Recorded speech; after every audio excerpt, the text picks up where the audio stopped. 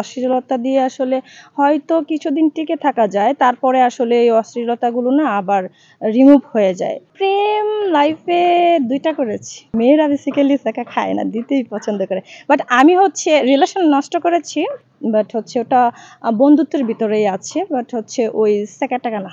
অশ্লীলতা দিয়ে আসলে হয়তো কিছুদিন টিকে থাকা যায় তারপরে আসলে এই অশ্লীলতাগুলো না আবার রিমুভ হয়ে যায়। অশ্লীলতা এটা যা যার ব্যক্তিগত ব্যাপার। কারণ আমাদের এখানে এখন হচ্ছে কি কম্পিটিশনের যুগ চলতেছে। আমরা যখন ভালো কিছু করতেছি সামাজিক কিছু করতেছি আমাদের আম, দর্শকটা নিচ্ছে না। কারণ তারা হচ্ছে কলকাতার দিকে দেখতেছে বা বলিউড হলিউড ওইগুলো ফলো করতেছে।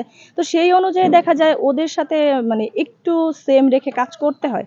তো এটা হচ্ছে যা যার ব্যক্তিগত ব্যাপার এটা নিয়ে আমি আসলে তেমন কোনো মন্তব্য করতে চাই না। শর্ট ড্রেস বলতে আসলে আমরা কিন্তু বেসিক্যালি শর্ট ড্রেস পরি। পরি না যে এমন না কিন্তু যেটা দেখা যায় সামাজিকের ভিতরে যে আমাদের আহ, কিছু অফিসিয়াল ড্রেস থাকে শর্ট ড্রেস সেইগুলোর ভিতরে যদি হয় অবশ্যই করব। আর গল্পের প্রয়োজনে যদি করতে হয়, তাহলে অবশ্যই ভালো গল্প, ভালো নির্মাতা হলে অবশ্যই পড়ব পড়ব না কেন? এমন অশ্লীল কিছু না যে আমি অশ্লীল, একদম শর্ট অশ্লীল ওই রকম কিছু পড়তে চাই না। তো আমি যেই সেটেই কাজ করি না কেন, একদম ফ্যামিলির মতো এনজয় করি।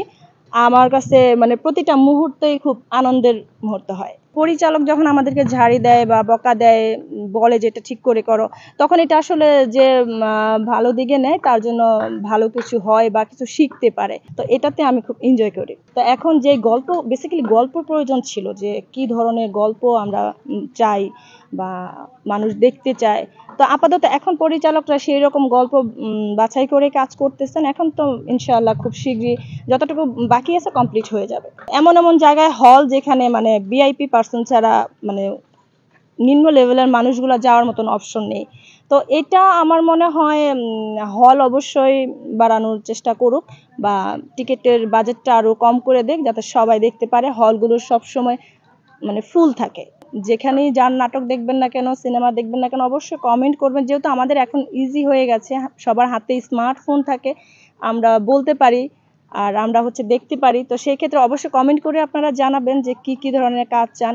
আর অবশ্যই আমি তো চেষ্টা করতেছি ভালো কিছু করার জন্য। আপনারা অবশ্যই দোয়া রাখবেন, ভালো থাকবেন, আমার কাজগুলো দেখবেন, আমাকে কমেন্ট করবেন, যাতে আমি আরও ভালো কিছু উপহার দিতে পারি। আর চারটা সিরিয়াল তো রানিং চলতেছে, তো ওই সিরিয়ালগুলো অবশ্যই দেখবেন। সিরিয়ালের নামগুলো বলে দিই। একটা হচ্ছে বিদেশ ফেরত জামাই। এটা ডিরেকশন দিয়েছেন রহমান খলিল। আর লিখেছেন হচ্ছে সজীব চিস্তি। আরেকটা হচ্ছে চিরকুমারীর সংঘর্ষ। এটা ডিরেকশন দিয়েছেন রিফাত রিফাত ভাইয়া। আর রানিং একটা চলতেছে যেটা হচ্ছে স্টেশন পুলিশ স্টেশন এটা ডিরেকশন দিচ্ছেন অঞ্জন আইস। আরেকটা হচ্ছে শেফালি শেফালির হোস্টেল